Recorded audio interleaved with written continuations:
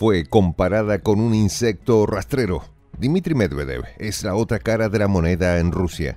Tal vez no sea tan moderado como el propio Vladimir Putin, pero el exmandatario ruso ha demostrado a Occidente que los pondrá en ridículo si se lo buscan.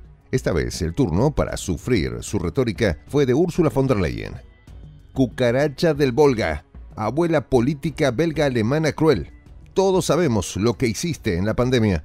Son algunas de las frases que ha dejado Medvedev en su cuenta de Telegram, humillando a la lideresa europea. Quien también ha sufrido ha sido Mark Rutte, el próximo secretario general de la OTAN. Los detalles a continuación. ¿Quieres ser miembro fundador de la Patria Grande? Únete a nuestra membresía. Más información al final del video. La comparó con un insecto rastrero. Dmitry Medvedev, el polémico exmandatario ruso y actual vicepresidente del Consejo de Seguridad, lanzó una crítica feroz y cargada de sarcasmo contra Ursula von der Leyen. En el mensaje incendiario en su cuenta de Telegram, Medvedev la comparó con una cucaracha del Volga, una metáfora despectiva que resonó con fuerza en los círculos políticos. Esta comparación, aunque grotesca, sirve para ilustrar la intensa animosidad que Rusia siente hacia la presidenta de la Comisión Europea, reflejando las profundas tensiones que existen en la arena política internacional. Medvedev no se detuvo ahí. Su mensaje continuó con una descripción mordaz de otros líderes europeos, formando lo que él llamó una trinidad maravillosa en la OTAN y la Comisión Europea. Mark Rutte, Ursula von der Leyen y Kaya Kallas, cada uno de ellos, según Medvedev, más hermosos que el anterior en términos de su rusofobia y su lealtad a los intereses occidentales. Número 1. Mark Rutte, ex primer ministro de los Países Bajos y ahora secretario general de la OTAN, un chico muy especial. En un tiempo relativamente corto, esta figura moderada, a quien una vez conocí en las cumbres, se convirtió en un ávido rusófobo y un atlantista acérrimo, dijo Medvedev. No podemos adivinar qué sustancias de los cafés de Ámsterdam provocaron un cambio tan brusco en su estado de ánimo, señaló Medvedev con su característico sarcasmo. Ruth, quien ha sido un firme defensor de las sanciones contra Rusia, representa, según Medvedev, un cambio radical en la política holandesa que ahora se alinea sin titubeos con las políticas de la OTAN. La descripción de Medvedev sobre Ursula von der Leyen fue aún más vitriólica. Un rostro familiar, anciano y demacrado es el de Úrsula Gertruden von der Leyen, 65 años, abuela política belga-alemana cruel, comentó con ironía. Exteriormente similar a la cucaracha del Volga de tamaño mediano, y ya todos sabemos lo que hizo en la pandemia, dijo Medvedev. La referencia a la cucaracha, aunque ofensiva, fue utilizada por Medvedev para subrayar su percepción de von der Leyen como una figura indeseable y corrupta.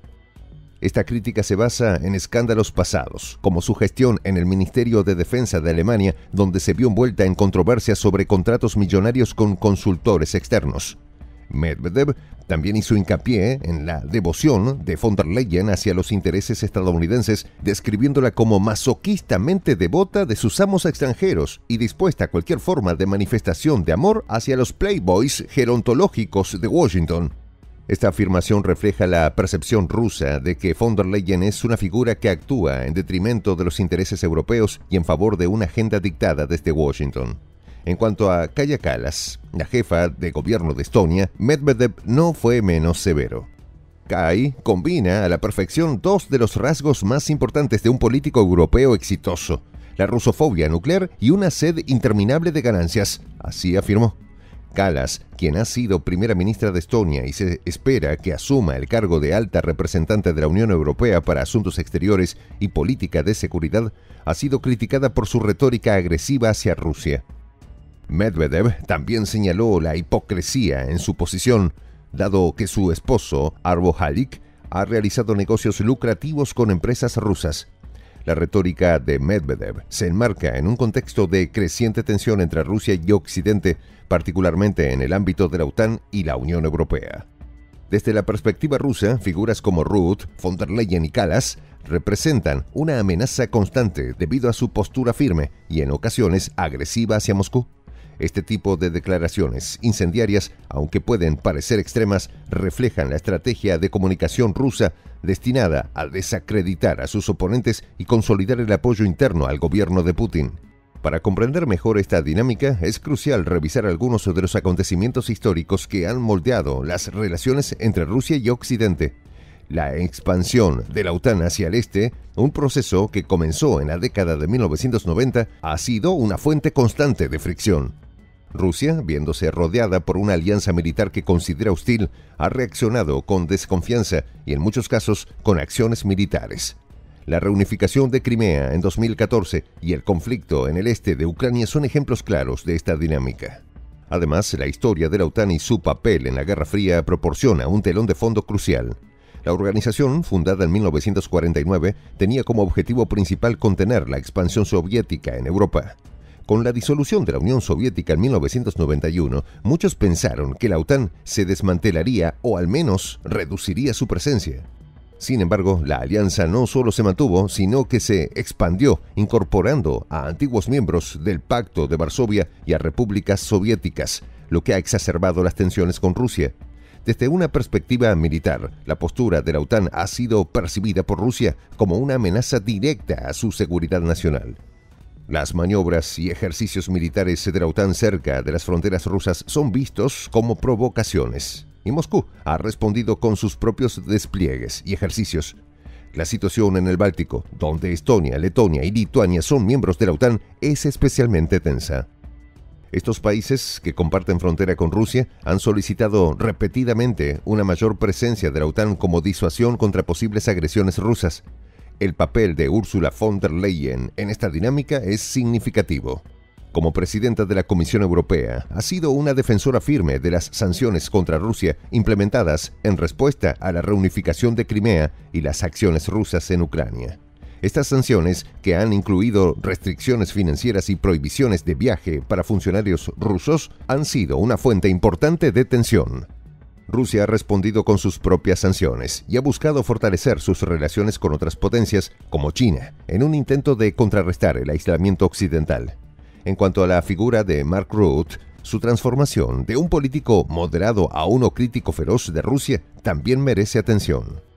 Los Países Bajos han sido uno de los países europeos más vocales en su condena de las acciones rusas, especialmente tras el derribo del vuelo MH17 en 2014 en el que murieron 298 personas, la mayoría de ellas holandesas.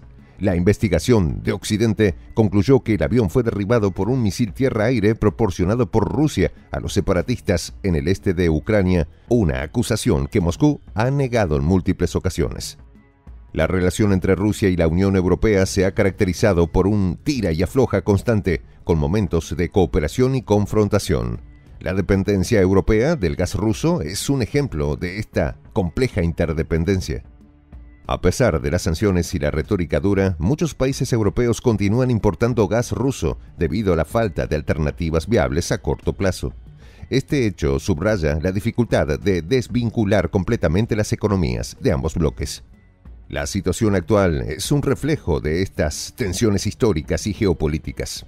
La comparación de von der Leyen con una cucaracha puede parecer una exageración o una táctica de distracción pero subraya la intensidad de la animosidad entre Rusia y sus críticos occidentales.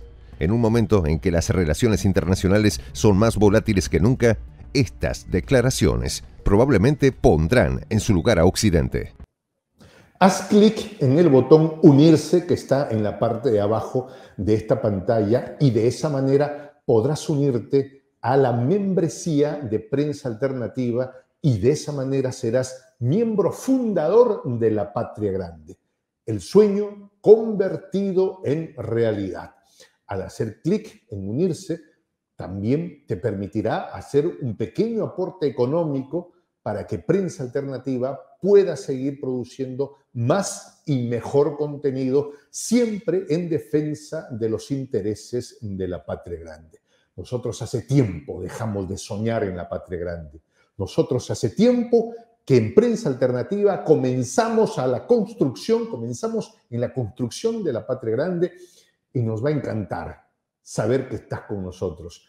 Nos fascina saber que seremos un equipo junto contigo. De hecho, al ser parte de nuestra comunidad, te permitirá tener acceso a los programas que vamos a hacer en vivo, los programas en vivo para los miembros los días viernes a las 7 de la noche, hora Ciudad de Lima. Vamos a tener un canal de WhatsApp también, solo para los miembros. Y además vas a tener acceso directo, contacto directo conmigo, con todo el equipo de prensa alternativa para que puedas proponer temas, podamos abrir debates sobre los contenidos de nuestros videos, siempre insisto en defensa de los intereses de la patria grande. Los esperamos, los esperamos con mucha expectativa. Mi nombre es Juan José el Castillo el J, Tupananchiscana, que en español quiere decir hasta que nos volvamos a encontrar. Soy el J, Juan José del Castillo, director del canal Prensa Alternativa. Si quieres ser parte de la comunidad de la Patria Grande, suscríbete a nuestro canal. Si es que quieres que te lleguen las notificaciones cada vez que subimos un video, activa la campanita. Si quieres apoyar a nuestro canal económicamente, puedes hacerlo a través de PayPal. El enlace está en la descripción del video. A nombre del equipo de prensa alternativa, me despido con esta expresión en el quechua milenario, Tupananchis Kama, cuya traducción es hasta volvernos a encontrar.